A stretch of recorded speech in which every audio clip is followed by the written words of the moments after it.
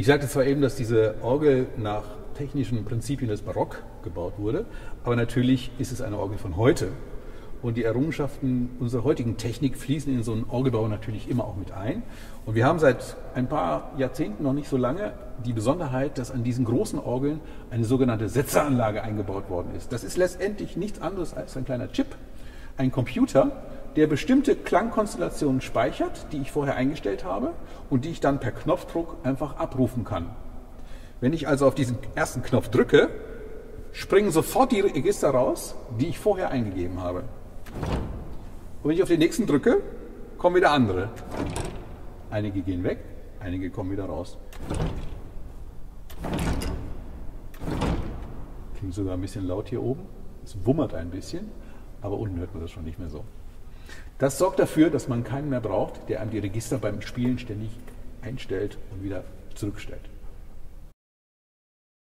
Ich hatte eben schon mal gezeigt, was die Orgel alles kann.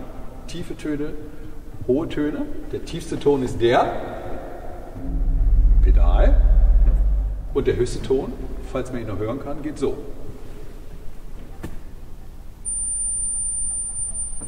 Und alles dazwischen ist bei der Orgel möglich. Das ist das Faszinierende an einer Orgel.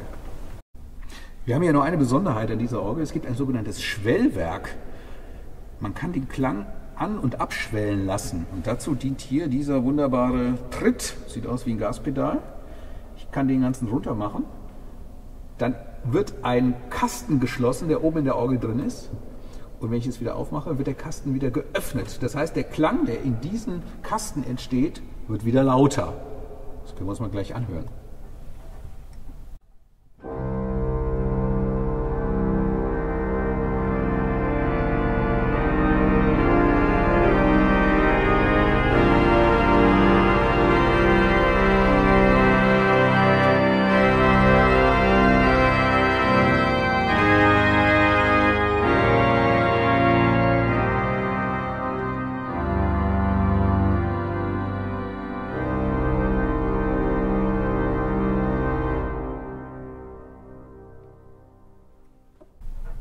Ja, herzlich willkommen im inneren Heiligtum der Orgel. Ein seltenes Bild, was wir hier sehen. Wir sind mitten in der Orgel drin. Wir sehen die ganz vielen Pfeifen. Wie gesagt, wir haben 3000 Stück davon ungefähr. Das ist jetzt das Schwellwerk. Wir sind also in einer Box. Und wenn wir hier auf der Seite mal schauen, ich kann die Box, die ich eben mit dem Fuß zugemacht habe, auch per Hand zumachen. Und dann sieht man schon, was der Effekt ist. Sie ist zu und alles, was jetzt hier klingt, ist natürlich im Raum viel leiser kann sie wieder aufmachen. Natürlich sonst nur mit dem Fuß. Und schon ist es wieder lauter. Das ist so ein, ja, eine Errungenschaft der Romantik, dass man die Klänge nicht so statisch haben wollte und äh, sie ein bisschen dynamischer machen wollte. Ansonsten sehen wir hier verschiedene Pfeifen des Schwellwerks. Ich habe mal eine Pfeife hier rausgenommen, die kann man ganz normal rausnehmen. Und wenn ich jetzt hier reinpuste, hören wir den Ton, der auch unten in der Kirche klingt, wenn ich diese Taste drücke mit diesem eingestellten Ton. Ich nehme an, das ist eine Zweifußflöte oder eine Oktave, keine Ahnung.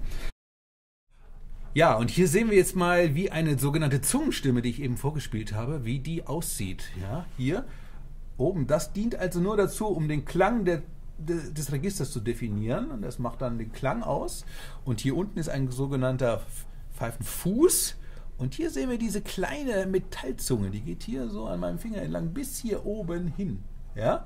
Und diese Zunge, die ich hier gerade gezeigt habe, die muss man so zweimal oder dreimal im Jahr stimmen. Da ist der Organist auch für zuständig. Der braucht dann jemanden, der unten an der Orgel sitzt, den Ton spielt, damit die Luft durch die Pfeife geht und man mittels dieser Zunge, indem man sie hoch oder runter drückt, wieder tuned, also äh, wieder richtig stimmt, damit sie wieder schön klingt. Das ist eine sehr anstrengende Arbeit und geht sehr auf die Ohren, weil diese Register sind natürlich sehr laut. Und wenn man das eine halbe Stunde lang gemacht hat, dann weiß man, was er getan hat. Ja, ich hoffe, ich konnte ein bisschen erklären, wie so eine Orgel funktioniert. Hier in der Salvatorkirche an der Kuhnorgel hat mir sehr viel Spaß gemacht. Ich hoffe Ihnen auch.